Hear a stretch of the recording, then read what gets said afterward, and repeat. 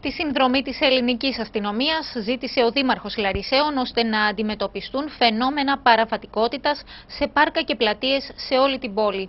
Περιστατικά χρήσης και εμπορίας ναρκωτικών και κρούσματα με εκδιδόμενες γυναίκες έχουν παρατηρηθεί ακόμα και στην καρδιά της πόλης, στην κεντρική πλατεία. Τον τελευταίο καιρό βέβαια το φαινόμενο αυτό, δηλαδή της συγκέντρωσης ανθρώπων οι οποίοι δημιουργούν αρκετά προβλήματα, άρχισε να εμφανίζεται στην κεντρική πλατεία. Αλλά στη συνέχεια παρουσιάστηκαν και άλλα φαινόμενα. Φαινόμενα τα οποία θα πρέπει οπωσδήποτε να τα συμμαζέψουμε, θα πω απλά.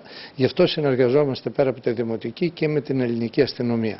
Είχαμε μια συνάντηση με τον στρατηγό αλλά και τον διευθυντή, τους ενημέρωσα Επίσης, οι ζημιές που προκαλούν οι παραβάτες που κλέβουν και καταστρέφουν κοστίζουν ακριβά στο Δήμο. Τις 150.000 ευρώ έφτασε το κόστος για την αποκατάσταση ζημιών από τις αρχές του χρόνου.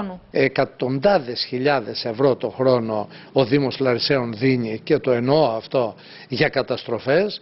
Ε, να φανταστείτε έχουμε κάνει το ποτάμι ωραιότατο και με παίρνουν άνθρωποι που περπατάνε. Κάθε δύο-τρεις μέρες δεν είναι ότι κάνουν ζημιές απλά, κλέβουν τα καλώδια. Έχουν κατεβάσει τις βρύσες, έχουν καταστρέψει τα παγκάκια.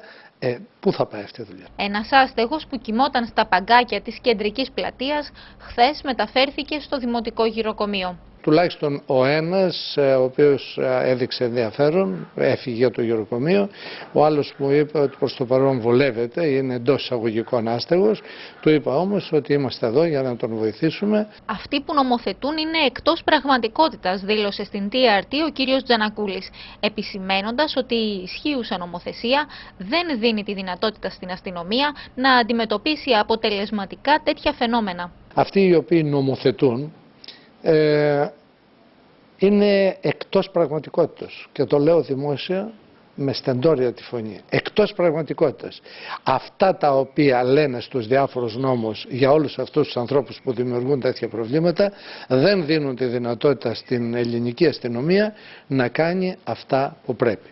Είχαμε τα φαινόμενα όπως ξέρετε επανειλημμένα και τα έχουμε ακόμα με τους ζητιάνους και όλους τους άλλους που μαζεύονται στις διασταυρώσεις των οδών και πολλοί από αυτούς γίνονται και απειλητικοί πέρα από ενοχλητικοί. Και δυστυχώς η νομοθεσία είναι τέτοια που ό,τι και αν έκανε η αστυνομία τη μία μέρα τους μάζευε, την άλλη ξανά ήταν στις θέσεις τους.